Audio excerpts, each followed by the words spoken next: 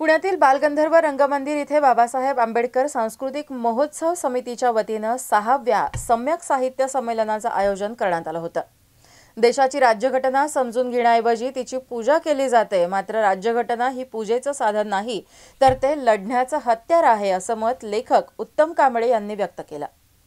अनेक महापुरुषांचे विचार जपणारे आणि शिक्षणाचे माहेरघर ओळख असलेल्या पुण्यामध्ये संविधान नगरी प्राध्यापक रामनाथ चव्हाण विचार मंचावर सहावे अखिल भारतीय सम्यक साहित्य संमेलन पुण्यातील बालगंधर्व रंगमंदिर या ठिकाणी अकरा जानेवारी ते चौदा जानेवारीला आयोजित करण्यात आलं होतं. बारा जानेवारीला उद्घाटन समारंभाला सुरुवात करण्यात आली होती. यामध्ये सामाजिक प्रबोधन शाहिरी जलसा परिसंवाद आणि महापुरुषांच्या जीवनावरील पुस्तकेही खरेदी विक्रीसाठी ठेवण्यात आले होते. या संमेलनाला doctor K Enoch doctor Yashwant Manohar प्रमुख उपस्थिती डॉक्टर रावसाहेब कसबे डॉक्टर नितीन करमळकर उत्तम कांबळे यांसह अनेक मान्यवर उपस्थित होते. प्रश्न चुकीचा आहे. मी जेव्हा पत्रकारितेमध्ये आलो तेव्हा पत्रकारिता का करायची ह्याचा माझा माझा अजेंडा ठरलेला होता. आणि तो अजेंडा राबवत मी अडतीस वर्षे काढलेली आहेत. माझा अजेंडा भ्रष्टाचार उघड करण्याचा पुढाऱ्यांना शिव्या घालण्याचा कुणावरही टीका करण्याचा असा अजेंडा नव्हताच माझा. सनसनाटी पत्रकारिता हा काय माझा अजेंडा नव्हताच. माझ्या अजेंड्यावर असा माणूस होता की ज्याला दोनशे वर्षे वृत्तपत्रात कधी जागाच मिळाली नव्हती. ज्याचा चेहराच कधी छापला नव्हता. त्यामुळं मला तो जो ब्रोकन मॅन आहे बाबासाहेबांचा जो फेसलेस समाज आहे त्याला वृत्तपत्रात जागाच नाही.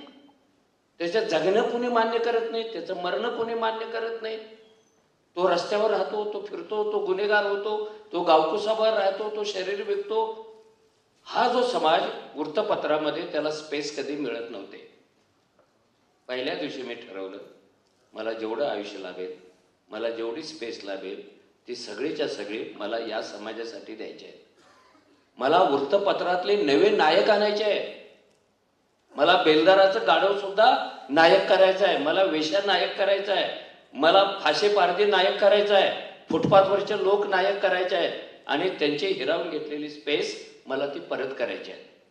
त्यामुळं कोण काय पत्रकारिता करतो आणि मी काय करायला पाहिजे हे विचारणं गैर आहे. कारण माझा ठरलेला आहे रस्ता. आणि काही झालं तरी तो मी बदलणार नव्हतो. आणि बदलला नाही शेवटपर्यंत. मला पॉलिटिकल जर्नलिझम करायचाच नव्हता. मला इकॉनॉमिकल करायचंच नव्हता.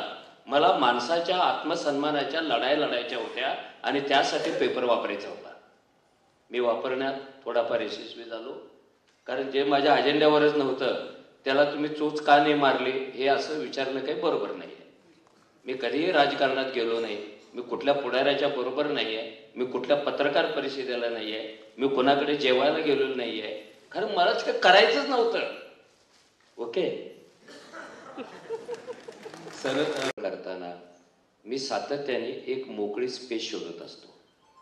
की ज्या स्पेसमध्ये कुणी गेलेलं नाही आहे कुणी काम केलेलं नाही आहे त्या स्पेसमध्ये आपण जावं आणि आपण जमेल तसं काम करावं की जो मी नियम पत्रकारितेमध्ये सुद्धा घालून घेतला. मी कार्यकर्ता झालो पण मी कुणाचा कार्यकर्ता झालो होतो? की ज्यांच्याकडे कोणत्याही चळवळीने लक्ष दिलं नव्हतं अशा समूहात आम्ही कार्यकर्ता झालो होतो. आंबेडकरी चळवळीने सुद्धा लक्ष दिलेलं नव्हतं. अशा कोणत्या संघटना आहेत? कामाटीपुरामध्ये आपल्याच बायका स्वतःला विकतात? एक नामदेव ढसाळांचा अपवाद सोडवला तर आपल्या चळवळ तिथे पोहोचल्या नाही. भटके ज्यांना गाव नाही स्मशान नाही काही नाही त्यांच्यासाठी मी तिथे स्पेस मी तिथे काम करत होतो. मी साहित्याच्या बाबतीमध्ये सुद्धा असंच केलं. असे विषय आणायचे जे यापूर्वी कुणी हाताळलेले नाही आहेत का हाताळले नाहीत? हा प्रश्न नाही विचारायचा. पण आपण हाताळू शकतो. नवे प्रयोग करता येतील का? आणि मी काय साहित्यिकाचा साहित्यिक विद्यार्थी नाही आहे. मी राज्यशास्त्राचा विद्यार्थी आहे. त्यामुळे साहित्याच्या सगळ्या बंदिस्त कल्पना वगैरे मला काही माहिती नाही. मला जसं जमतं तसं मी लिहित जातो आणि बऱ्याच वेळेला त्याचा एक नवा फॉर्म पण तयार होतो. म्हणून मी मराठी साहित्यामध्ये खंडकाव्य बंद पडलेलं होतं जवळपास. मी दोन खंडकाव्य लिहिली. मराठी साहित्यात दोन हजार नंतर सुद्धा जागतिकीकरणावर काही येतच नव्हतं. मला एक पोकळी दिसते असं वाटत होतं. मी स्वतःही काव्यसंग्रह लिहिला आणि जागतिकीकरणावरच्या सगळ्या कविता जमून त्याचं पुस्तक पण काढलेलं हे जे मिसिंग आहे मानवी जीवनातून लेखकाकडून मीडियाकडून जे मिसिंग झालेलं आहे ते मी कव्हर करत होतो. आणि तेच माझ्या साहित्याचे नायक बनले की मी असा विचार करत होतो की नायकाच्या पारंपरिक कल्पना सुद्धा बदलून टाकायला पाहिजे आणि मी बाबूरावांचा अण्णाभाऊ साठेंचा ऋणी आहे. आपल्या साहित्यातले नायक तेच होतात जे लेखकाच्या जातीतून येतात. लेखक ब्राह्मण असेल नायक ब्राह्मण. लेखक चांबार असेल नायक चांबार. लेखक मराठा असेल नायक मराठा. खूप कमी लोकांनी आपल्या जातीबाहेर जाऊन नायक आणलेले. आहे. मला ते खूप आवडलं होतं. त्यामुळं माझ्या कोणत्याही कवितेमध्ये कोणत्याही कादंबरीमध्ये कोणत्याही कथेमध्ये माझ्या जातीचा नायक कधी मी आणलेला नाही आहे ज्याचं नायकत्व नाकारले गेलेलं होतं ज्याला द्यायला पाहिजे होतं त्यांची फेड मी केलेली आहे. म्हणून हे सगळे प्रयोग वेगळे वाट वाटायला लागतात. आणि मी स्वतः टिकास्त झालेलो आहे. मला काही जात नाहीच आहे. कोणी चिकटवायचा प्रयत्न पण करू नये. मी कधीच जाती अंत माझ्या व्यक्तिगत पातळीवर केलेला आहे.